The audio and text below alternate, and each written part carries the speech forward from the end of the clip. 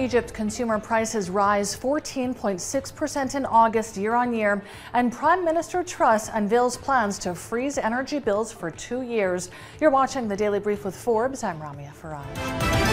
Consumer prices in Egypt climbed 14.6% in August this year compared to 2021. They're also up from 13.6% in July. Food and beverage costs comprise the biggest component of the inflation basket, up 23.1%. Analysts say Egypt's inflation is probably close to its peak. They say increases in input prices for non-oil companies have already slowed sharply, but businesses remain under pressure from higher fuel and raw material costs. Logistics company Maersk Canoe has signed an agreement with Dubai South for a new warehousing and distribution facility. The 162,000 square foot facility in the Dubai South Logistics District will also serve as an e-fulfillment center. It follows the inauguration of the first warehousing and distribution facility in Dubai at JAFZA earlier this year in March.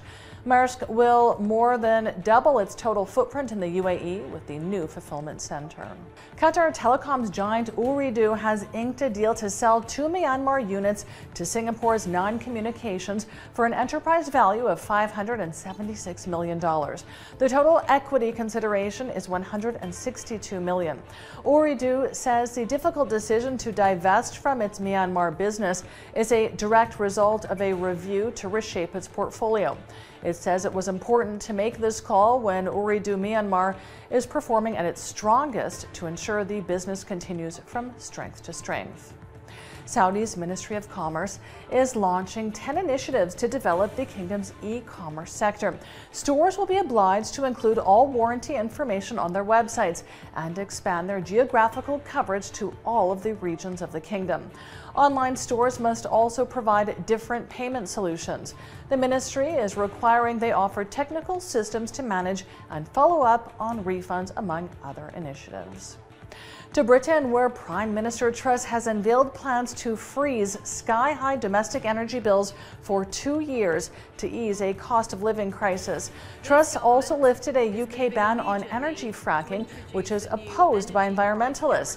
Truss says the government will review progress over Britain's 2050 net zero emissions target. The government expects the state backed scheme to cost tens of billions of dollars, but Truss and new Finance Minister Kwasi Kwarteng insist it will have substantial benefits for the economy. The British government is reportedly also expected to announce dozens of new North Sea oil and gas exploration licenses in an effort to boost domestic production. During the leadership campaign, Prime Minister Truss repeatedly said boosting domestic energy supply would be part of her focus in seeking to bring down prices. The licensing round won't offer any short-term relief to energy bills, though, as it typically takes between 5 to 10 years from initial exploration until oil and gas is produced from a field to China, where Evergrande Group's Hong Kong headquarters has reportedly been seized by a lender. It comes after the struggling Chinese property developer defaulted on a loan and twice failed to sell the building. Evergrande is the world's most indebted developer.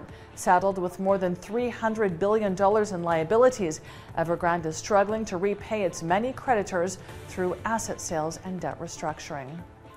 Honda will reduce production by up to 40% at two Japanese plants for the rest of the month due to ongoing supply chain and logistical problems. Its assembly plant in Saitama Prefecture, north of Tokyo, will slash output by about 40% this month.